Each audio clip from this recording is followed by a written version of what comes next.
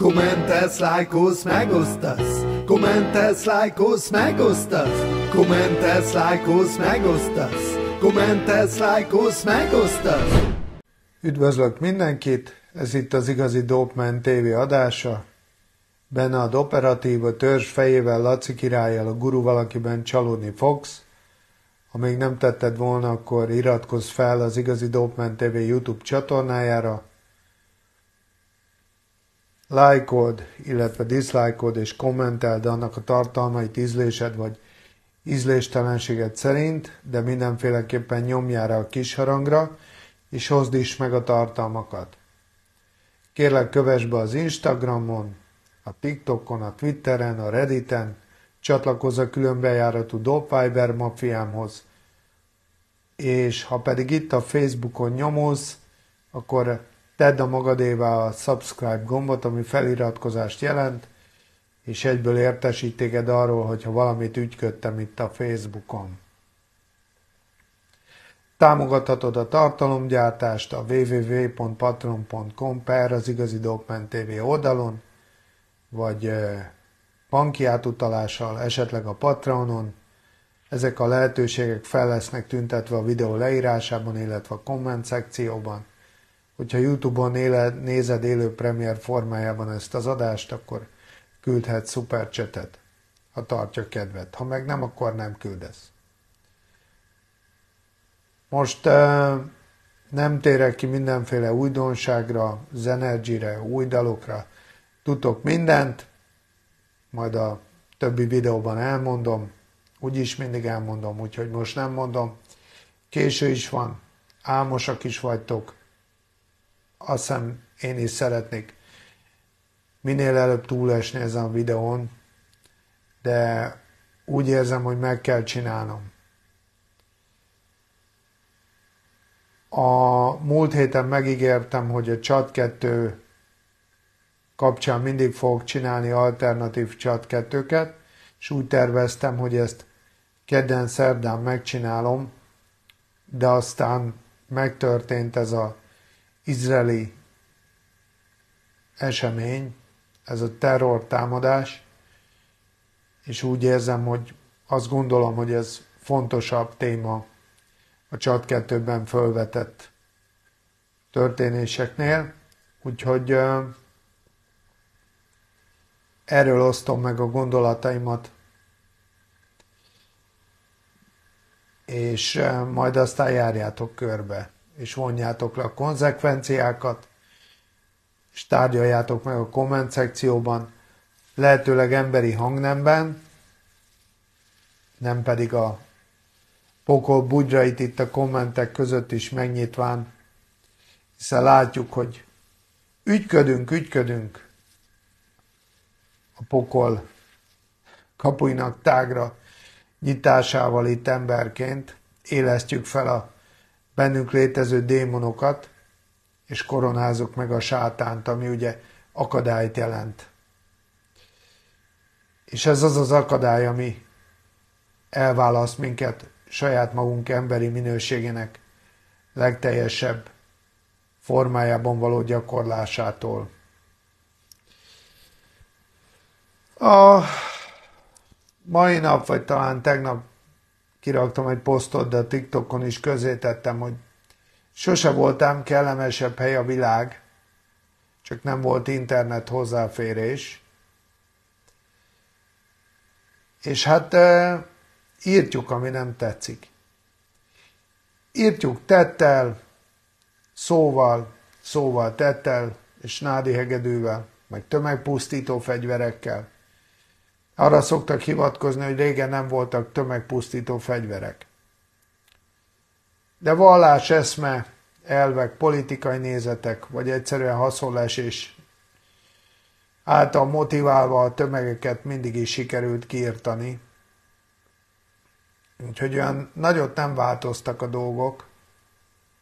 Viszont így, hogy van internet hozzáférésünk, és most már egyre gyorsabban szerzünk információt arról, hogy hogy vagyunk képesek viselkedni emberi lényként a világban, illene levonnunk a megfelelő következtetéseket, és elindulni egy olyan úton, ami megszünteti azt a fajta szenvedést, ami hajt minket előre. A szamszárában, a magunk által megteremtett pokolban. Tudjátok, a 1883 című film kapcsán szoktam mindig elmondani a sorozatot illetően, hogy ott megnézitek a gyönyörű amerikai tájat, és aztán ahogy ráközelít a szereplőkre a film, akkor látjátok, hogy ott a gyönyörű univerzumban a hangya méretű emberek megteremtik a saját maguk poklát. És mindig is megteremtették, és úgy látszik, mindig meg is fogják. A Cigi meg Hell című dalban nagyon sok szó esik erről, hogy mindenféle alakokra mutogatva szenteket kövezünk halára. Mikor összeállunk csoportokba, egy vélemény, egy elv, egy hit, vagy bármi nevében, akkor nagyon könnyen dehumanizálunk még szenteket is, és feszítjük őket keresztre. Aztán persze évtizedek, évszázadok elmúltával meg leborulunk előttük, meg mutogatunk rájuk, meg használjuk őket kifogásnak, ugyanarra, amit előtte velük megcsináltunk. Rémes, rémes. Nem szeretnék politikai jellemzést adni ez a dologgal kapcsolatban, sem a geopolitikába belemenően, sem hadászatilag. Egyrészt nem is vagyok szakértője ezen dolgoknak, másrészt a lét figyeléséből van diplomám. Azt figyelem. Tehát ezt az eseményt is csak ennek a szemszögnek az irányából tudom vizsgálni. Persze a szakértők azok örülhetnek, akik a Youtube-on az ukrán háború körüli hangulat lanyhulásával kezdtek izgulni, hogy miből lesz hakni. Vajon a Covid jön, és akkor a vírus szakértők veszik át újra a terepet, vagy pedig érkezik egy újabb háborús konfliktus. Hát a háborús konfliktus érkezett meg, ami újabb felkiáltóként, felkiáltó jelként mutat rá arra, hogy mit vagyunk képesek művelni. Ma reggel hallottam a gyerekek lemészárlásáról, és felüvöltött a lelkem.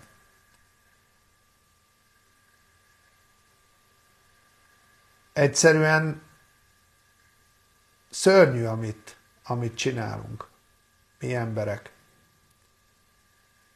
Persze mindenki most előveheti ezeket a terroristákat, és akkor a tettük kapcsán megfogalmazódó pokoli gyűlöletét kiengedve a száján, komment formájában, legitimnek érzi azokat a gyilkos indulatokat és dühöt, amit érez.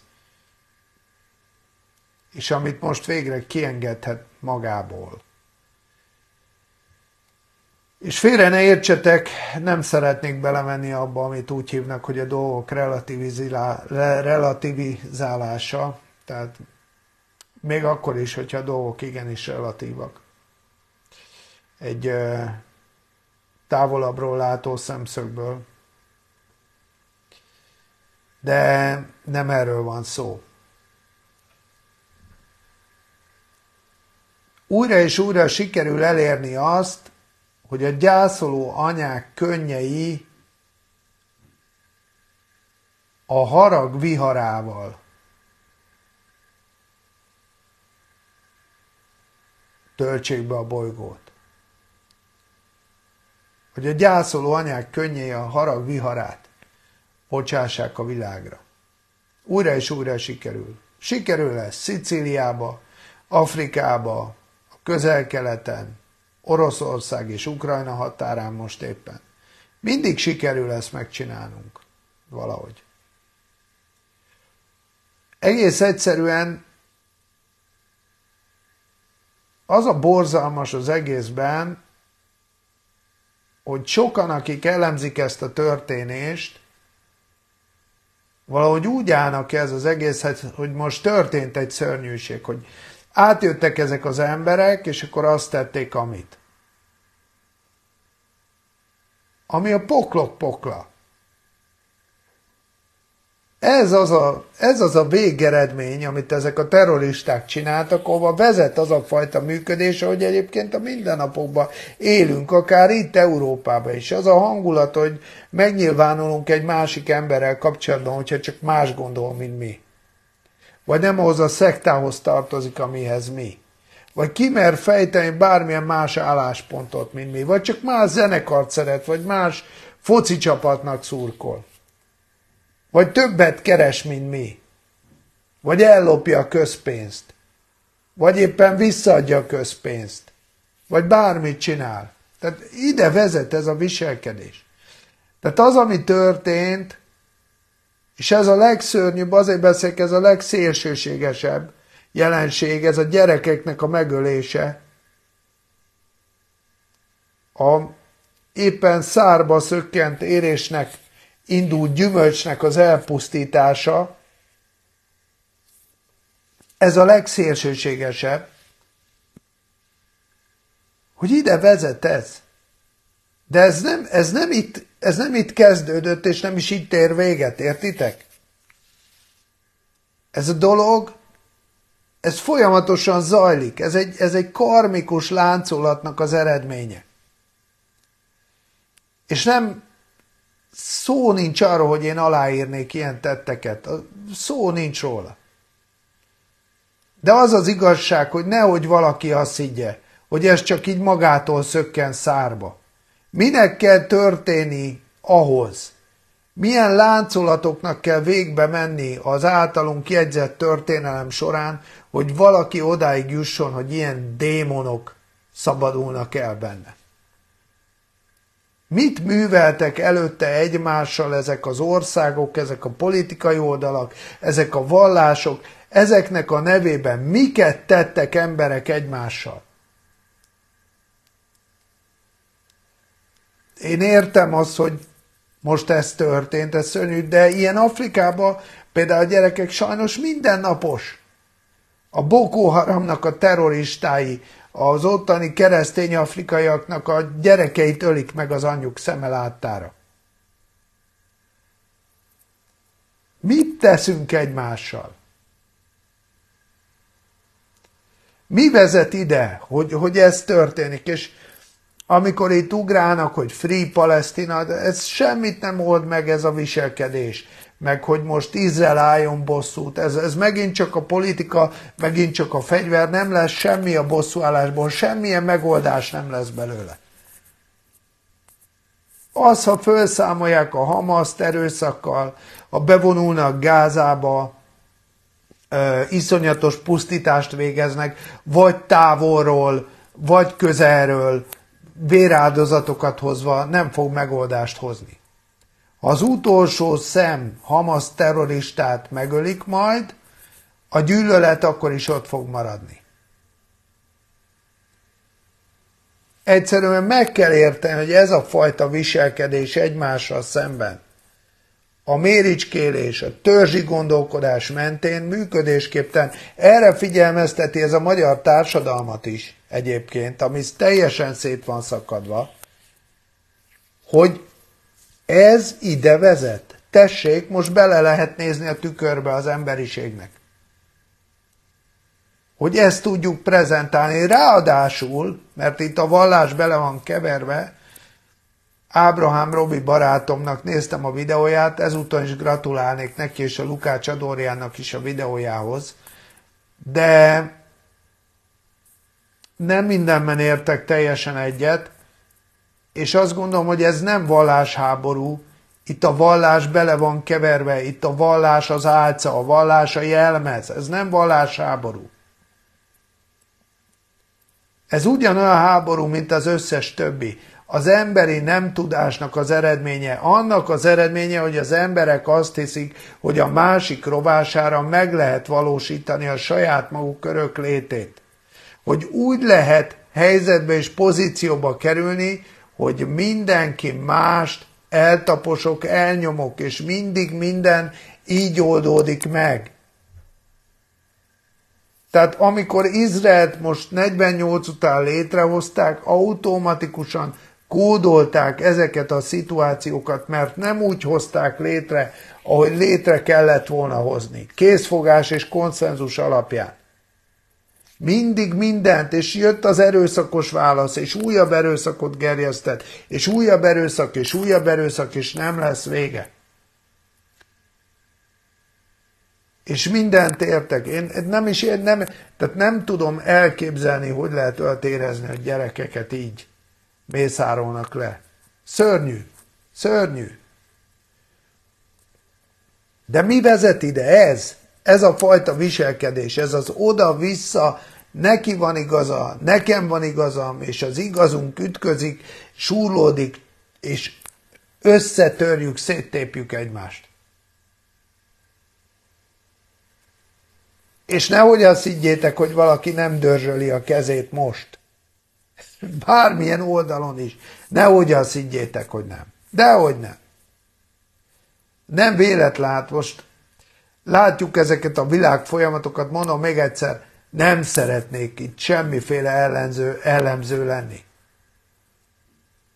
Ez a világelit, ami a stratoszféra fölött összeér, és együtt dolgozik, és pénzt keres, és fegyvereket árul, meg uh, nyersanyagokkal kufárkodik, meg gyerekmunkát, gyerekmunkából épít jóléti demokráciát, meg kizsigerel kontinenseket, országokat, stb. Háborúkat indult, indít, manipulál. Tehát nehogy azt higgyétek, hogy ezek a hatalmi mechanizmusok nem működnek, és nincsenek ott ebbe a izraeli szituba. Hát 87 forgatókönyve előtt tudunk jönni, nem? Például előtt tudunk jönni olyanokkal, hogy Ukrajnába állt a háború. Nem működött a sztori. Ki akarta belőle húzni magát már Amerika támogatásokból, stb. a nyugat. Most elindul itt uh, Izraelnél a történet. De olyan is lehet, hogy a másik csapat erősödik meg. Hogy van? Oroszország, Irán, Kína, mi Izrael, Amerika előre tolt állása közel-keleten. Ukrajnába ugye tolták az erőket, az amerikaiak most lehúzzák a frontot, több frontos háború. Torzsalkodnak a srácok a mi kontónkra. Torzsalkodnak a srácok a mi kontónkra, keretsik a pénzt, röhögnek, lecsapolják a rossz vért, ugye, idézőjelbe véve, hogy Clemenza mondja, a Keresztapa című filmbe. És mi meg műveljük egymásra az állatságot. Mert lehet az állatságnak, tehát az az igazság, hogy ez a sátáni dolog, hogy az, az állatságnak egy talpazat van kovácsolva. Meg van indokolva, legitimizáljuk az egymásnak a gyilkolását. És mikor, ugye mert most mondják, hogy hát Izraelnek bosszút kell állni, és ezt meg kell mutatni, hogy eddig és ne tovább. És hogy hogy merik mondani, hogy majd palesztin gyerekek is meg fognak halni, vagy arabok, vagy tök mindegy, nevezzük őket, ahogy akarjuk. Tudom, hogy van ezzel esetleg gond.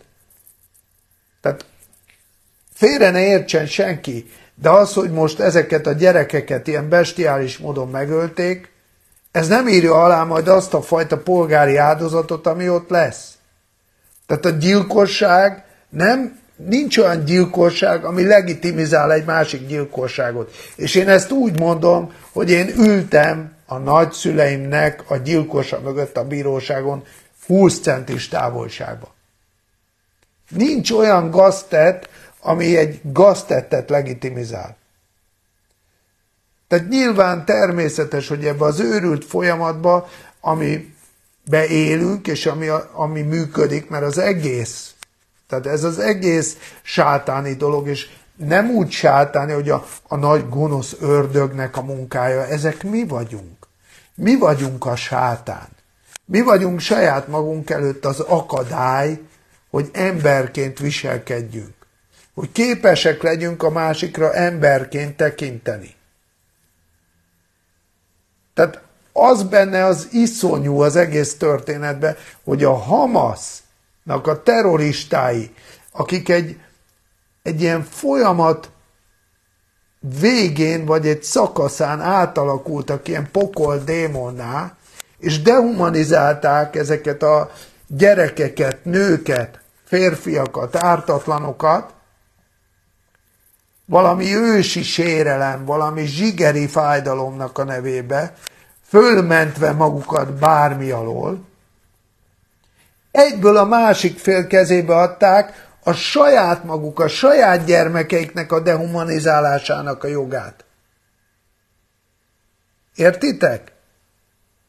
És ez így fog menni örökké, ha ennek nem vetnek véget. És ülnek a szakértők, és nézek egy csomó YouTube videót, mert megnéztem minden oldalon mindenféle szakértőt, és ülnek, és így ellemzik. Hát igen, be fognak menni. Majd ott is rengeteg gyerek meg fog halni. Meg majd maximum elzárják a gázt, meg nem lesz benne villany, meg stb.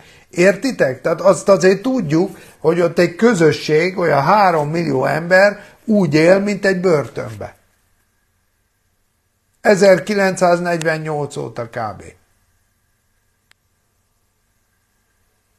És akik meg oda mentek, ők meg úgy mentek vissza, hogy el lettek üldözve, és bántotta őket a történelem folyamatosan. Értitek, hogy áll össze a fájdalom? Ami a fájdalom csak fájdalmat tud okozni. Ezért mondom, hogy bármi van, a fájdalomból csak fájdalom lesz. És én ezért nem, nem akarok szakérteni. Mindenki látja, itt nincsenek tiszta viszonyok, nincsenek jó fiúk, meg rossz fiúk, meg jó világrend, meg rossz világrend.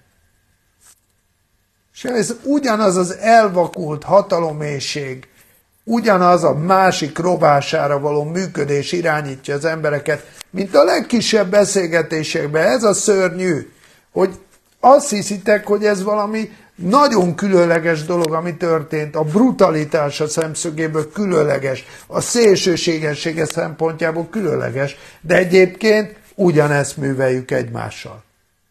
Meg kell nézni egy komment falat, tessék, ide vezet gyerekek. Az én fogadott mesterem, szívem bezárt tanítom. Az egyik a párból. Tisznyátnál. Plum Village-ben, a francia kolostorban szervezett elvonulásokat. És kifejezetten ebben a témakörben és közegben mozogva Palesztinából vittek oda arab harcosokat és izraeli katonákat. Illetve izraeli támadásoknak, rakétázásoknak az áldozatait, és terrorcselekményeknek az áldozatait Izraelből. És köztük próbálták megteremteni a békét a vietnámi zen buddhizmusnak a módszereivel, meg a tichnyátnának a módszerével. És hát nyilván, mikor megérkeztek ezek az emberek Plum Village-be, akkor rendkívül ellenségesek voltak egymással szemben, nyilván a hely szentségét szem előtt tartva nem ugrottak egymás torkának, de kifejezetten ellenségesek voltak egymással.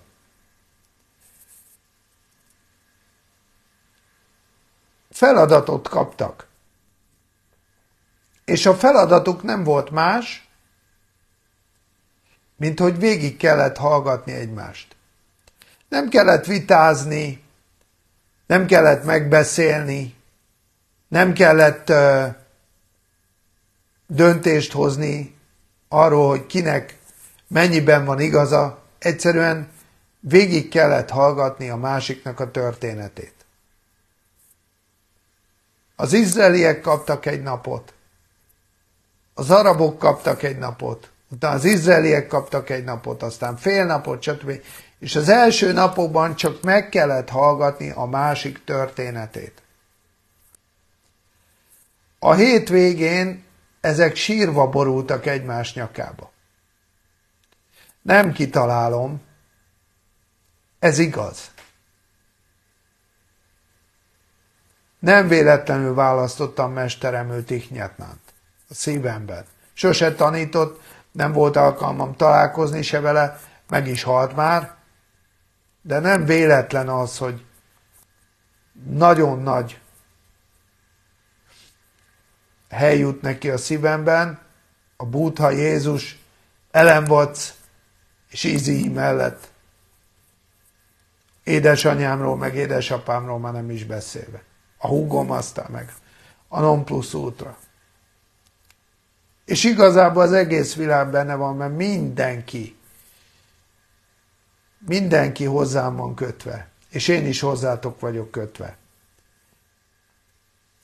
És ezt kell megérteni, hogy az indulat beszél, fölébred a harag, a gyűlölet, a, a mérgező szándék.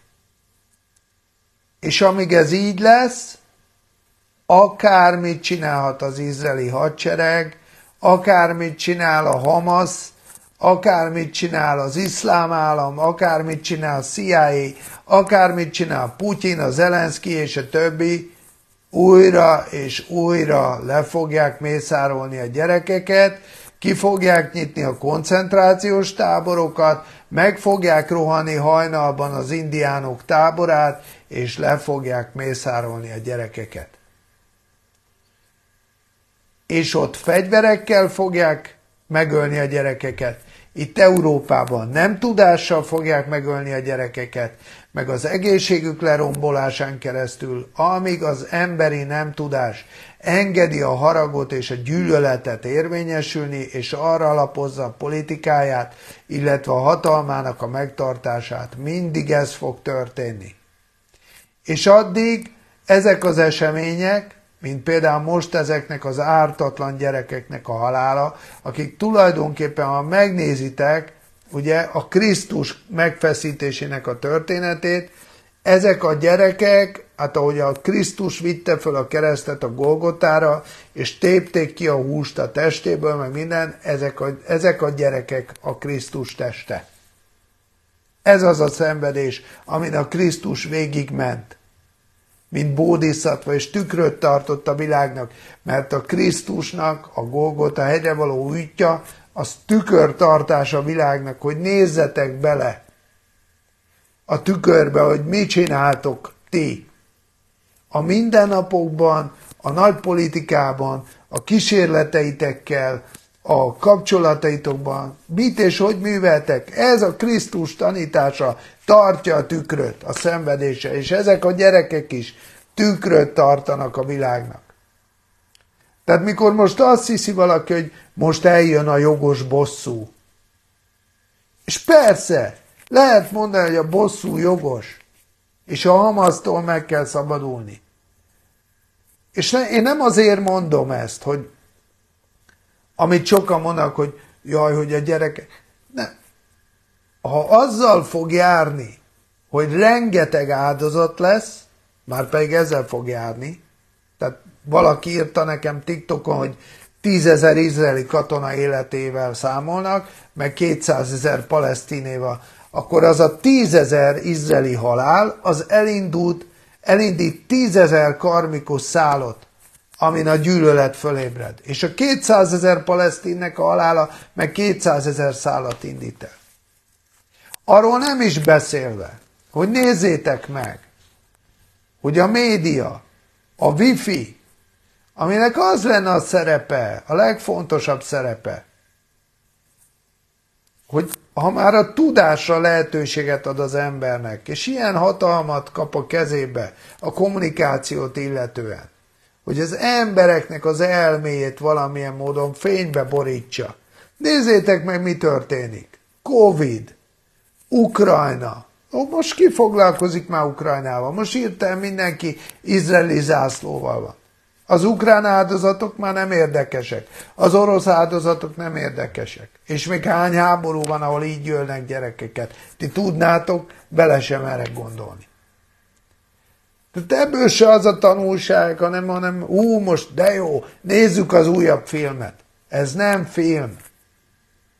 Ez nem film. És ami következik belőle, az se film.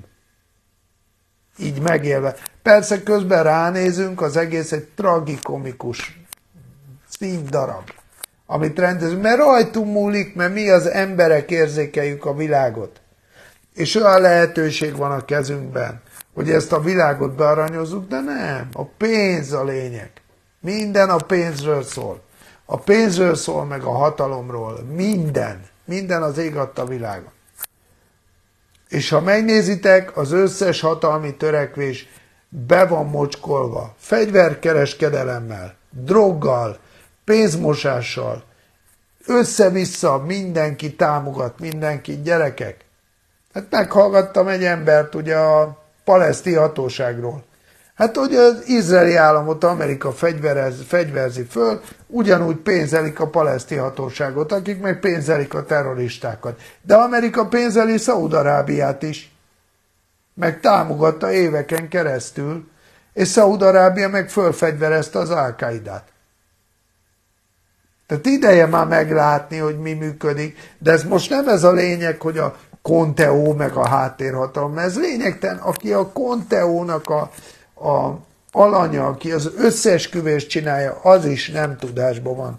Az is azt hiszi, hogy valamit elér ezáltal. Egyet kell megérteni, nem érsz el semmit. Semmit. És ami a legszebb, hogy ez az egész azért jön létre, mert mi emberek, mi viselkedünk így, ahogy összeállunk, háromnál többen vagyunk, jön a kövezés. Mindegy, minek a nevébe. Mindegy. Solbert Norbi rosszat mondott, megkövezik. A Jézus Krisztus hegyi beszédet mondott, megkövezik. DK-s vagy, megkövezünk. Fideszes vagy, megkövezünk. Bírod az Orbán Viktor, megkövezünk. Buzi vagy, megkövezünk. Mindenki kövez mindenkit. Laza nem tud lenni senki. Senki nem tudja azt mondani, mint amit a Beatles. Let it be. Hadd legyen. Nem, kell a földje. Kell a vagyona. Nekem akkor lesz jó. És itt megint ez van, hogy nézzétek meg, nézzétek meg, mit csinál a média ennek a háborúnak a kapcsán. Mit csinálnak a szakja, hogy beszélnek az emberek életéről. Elemezgetik, bazeg. Ugyan Ukrajnában se, azt nem értem. Elemezgetik. És ebbe ez, ezt is mutatja, hogy nem tétel az emberi élet a politikai játszmákba. Értsétek meg, nem tétel sem a izé, sem a, a gyerek élete, se a felnőtté, se a női, semmi. Nem tétel. Nem, nem érdekes. Tehát ez is csak most neked aktuálisan egyénileg szörnyű, hogy megélték a gyere, megölték a gyerekeket. Főképp azért, mert átérzed, hogyha tieddel ez történne, akkor hogy fájna neked. De hónap után már nem is fogsz rá emlékezni. Ez a, leg, ez a legcsúnyább. Tehát nem tudunk a tanítás, amit kezdeni. És itt megint azt mondom, hogy itt egy dolognak lehet hangot adni, csak a békevágynak. Ahogy Ukrajna kapcsán is hogy meg kell értetni a vezetőkkel, hogy nem lehet ezt művelni tovább. Kész. És nincs, alá, nincs aláírt gyilkosság, nincs legitim gyilkosság, bármi történjen. És itt se azt mondom, ha elkövetik, elkövetik. Tehát itt megint azt mondom, hogy kétféleképpen lehet az ember hülye. Az egyik úgy, hogy nem tud róla, hogy hülye. Akkor mindig meglepetésként éri a szenvedést. Vagy lehet úgy hülye, hogy azt mondja, hogy én hülyét akarok játszani, vagy szemetet akarok játszani, vagy bele akarok menni ebbe a játékba, hogy bosszút akarok állni. De akkor tudnom kell, hogy utána ugyanannyi részem lesz a következő fejezetbe, mint a másiknak. Mert fölvettem a kesztyűt. Mert nem az a nagy dolog, aki folytatja. Az nem nagy dolog. Ki tudja abba hagyni. Ki tudja abba hagyni gyerekek? Ez a legfontosabb. Ezt kéne már valakinek megértenie, hogy csak spirituális úton lehet menekülni. És ez ezért fontos Izrael helyzete is, mert ez egy nagyon spirituális környezet. A közel-kelet. Tehát ott ezt érezni kell. És csak egy ilyen, ennek kapcsán elmondok egy történetet, ami egyáltalán nem Izrael, nem háborúval foglalkozik, egy boxoló története. Egy Chris Kelvin nevű boxolóról van szó, aki Nashville államból származott. 60 kilós bunyós volt. Fönn van az élettörténete a Youtube-on, meg tudjátok nézni. Egy rendkívül szimpatikus, igazi fasza gyerek volt, egyébként egy rednek, úgy is lehet nevezni, kisbajusszabb, focista hajjal, és a csávó olyan bunyos volt gyerekek, egy, egy gyilkos. Tehát én elmondom nektek, hogy ilyen hátsó kezes ütéseket ritkán látok, 60 kilóba megölte a palikat. Szó szerint. Tehát ahova ütött, meghalt az ellenfél.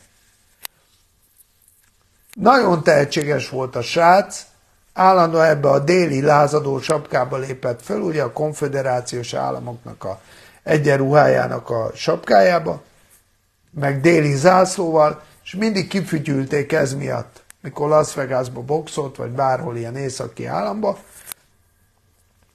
De mire vége lett a meccsnek, addigra tapsoltak neki, és szurkoltak érte. Emellett a srác tűzoltó volt, tehát volt rá példa, hogy szívinfarktus kapott idős nénit kihozott a tűzbe összeomló házból, életét kockáztatva, tehát egy igazi fasz a gyerek volt. Na most olyan kemény volt a gyerek, hogy már világbajnoki címér boxolt volna. És hát nem tudom hányan vagytok jártasak a bunyóba, de az Emmanuel Stewart ugye ő volt a Klitschko-nak, meg a Lennox Lewisnak is az edzője, a Detroiti Kronk Gymnek a tulajdonosa, ő hozott neki egy ellenfelet, ez egy bitan komoly bunyos volt az is, és hát egy olyan meccset vívtak gyerekek, amit ritkán látsz. Tehát ez már ötször leütötte azt a csávot, azután úgy megkínozta egy pár menetbe, hogy azt hittem vége van, és a végén meg is győzött kiütése. Tehát ez egy nagyon bitang csávó volt ez és már világbajnoki meccsre készült,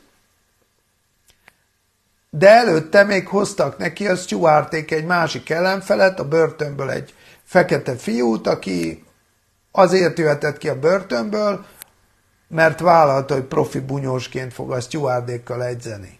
És egy nagyon technikás, igazi varázsló bunyós volt, tehát egy, ez a Mayweather féle nagyon nagy király, és bunyozott az emberünkkel. És hét meneten át össze-vissza szivatta, iskolázta. De ez a hetedik menetbe utolérte, és végül leütötte. De a leütés miatt a srác kórházba került, és hát mondták neki, hogy nagy a baj, és annyit kérdezett, hogy ezek szerint vége a karrieremnek, és meghalt. Na most képzeljétek el, hogy ez a Chris Kelvin nevű bunyos, utána ment volna a világbajnoki címér, de a következő meccsén egyből az első két menetben kialakította a helyzetet, hogy kivégezze az ellenfelét, de nem vitte be a halálos ütését. Tehát ezt a hátsó kezes egyenesét, vagy hajlított karú ütését, és hagyta magát megverni. És utána még párszor megpróbálkozott, de mindig megverette magát minden meccsen, és aztán visszavonult. És kérdezték tőle, hogy, hogy mi volt tulajdonképpen. És azt mondta, hogy miután megtörtént ez az eset, hogy meghalt az ellenfele, soha többé nem tudott senkit bántani a ringbe. Soha többet nem tudta bevinni azt az ütést, amivel győzött volna. Megszűnt a gyilkos ösztöne. A harcon keresztül a szamuráj eljutott odáig a harcban, hogy nem akar többé kardot húzni. és visszament tűzoltónak. Remélem értitek az összefüggést abba, hogy mit kéne tenni a világba az embereknek. Hogy a szemet szemért nem megoldás. Mert újabb szemet szemértet okoz. Tehát valahogy meg kell teremteni azt a lehetőséget, hogy ez ne így legyen. A szemet szemért tanítása nem működik. Mert az fenntartja a, a, a szenvedést, értitek? Ez az oka a dolgoknak, a szemet szemért. A szemet szemétből újabb törlesztés, és törlesztés, és törlesztés, és törlesztés, és törlesztés, és a törlesztésnek a továbbadott információja fog menni. És így fogjuk élni az életünket, még világ a világ. És lehetnek akármilyen gépeink, lehetnek akármilyen fejlesztéseink, lehetünk akármilyen gazdagok, mindig így fogunk élni, minden dologban. És vérzik a szívem, hogy az emberek most a 21. században sem képesek megérteni azt, hogy hova vezet, amit művelnek. És nem csak az elit csinálja, nem csak a politikusok csinálják, nem, mindenki részt vesz benne. És végül, ha valamit lehet, akkor ajánlanék nektek egy filmet, mert a Hotel Mumbai című film kiválóan mutatja be ezt az egész történést, hogy milyen érzések dolgoznak mindkét oldalon. Érdemes megnézni, mert ugye az Indiában volt a legendás Hotel Mumbai elleni támadás, aminek a során pakisztáni terroristák partra szálltak Indiában, és megtámadták a várost, rengeteg embert megöltek, és utána ugye a Hotel Mumbai-t akarták, tehát ott azt a luxus hotelt akarták fölrobbantani, meg az összes vendéget, gazdag embereket megölni. De azért jó a film, mert rámutat arra, hogy a nap végén ezek a terroristák mibe voltak. Tehát mikor meglátnak egy angol WC-t, hogy ez milyen hatással van rájuk, vagy hogy meglátják, hogy mit tesznek a hotelbe az emberek, hogy mit termeli ki azt a fajta gyűlöletet, ami idáig vezet, hogy emberek ilyen démoni dolgokat tesznek egy másik emberi lényel. Mert ezt az emberek csinálják magukkal és egymással. Ez a legnagyobb, ez a legfontosabb tanulsága ennek, és ezt valakinek abba kell hagyni. Tehát ezért mondom, hogy én elfogadom, hogy milyen történések fognak zajlani, hogy bemegy, hogy lerakétázza, aztán majd jön a következő, csak senki ne lepődjön meg, hogyha ez újra meg újra meg fog történni, mert ennek ez lesz az eredménye. És minden mögött politikai mahináció van minden, minden fronton. És az emberi élet, mondom még egyszer, nem tétel. És ez borzalmas. Nem tudok ezzel kapcsolatban többet mondani érdemben.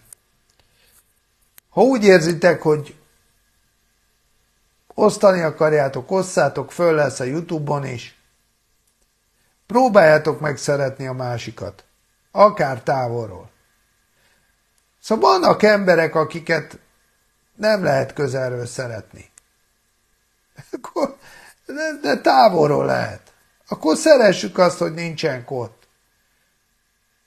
Meg kell tanulnunk valamilyen módon, gyerekek, mi vagyunk a világ. Tehát egyet kell megérteni, az ember érzékeli a világot, az ember teremti a világot. Ez az egész világ az ember teremtése, az érzékszerveinek az eredménye. Mikor vége van az érzékelésnek, vége a világnak. Nincs más világ az embernek az emberen kívüli világnál.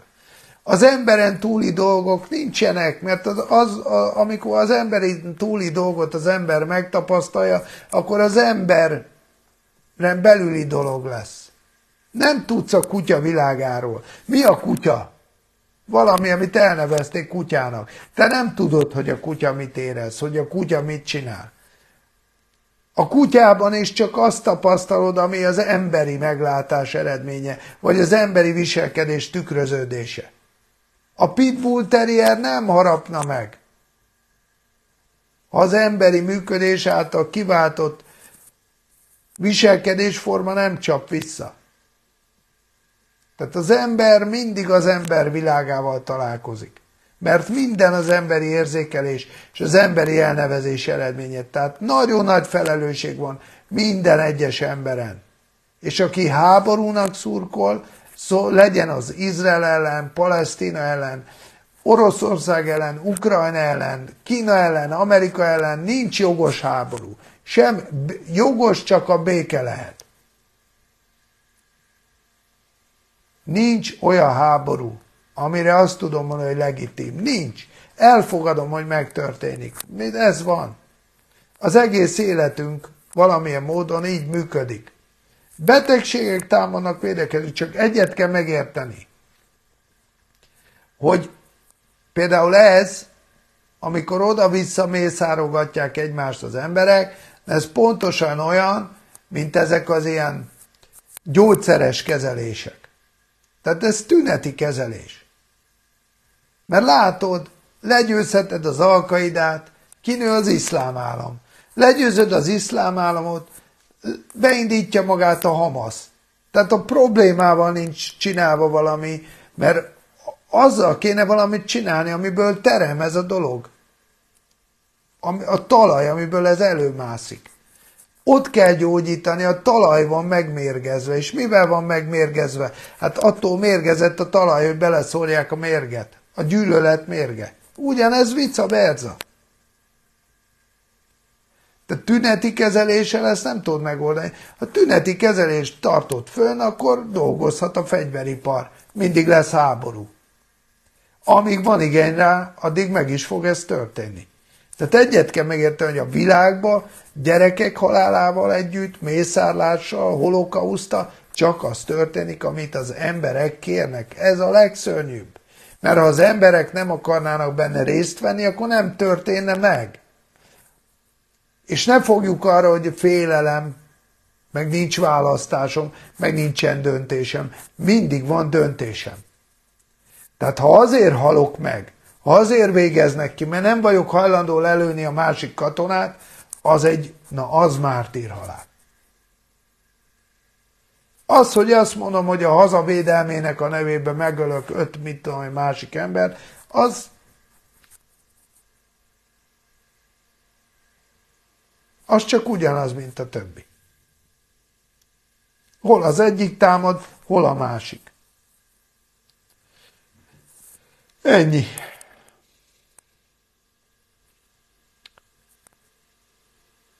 Nem így terveztem. Kommentes, lájkolsz, megosztasz. Kommentes, lájkolsz, megosztasz. Kommentes, lájkolsz, megosztasz. Kommentes, lájkolsz, megosztasz.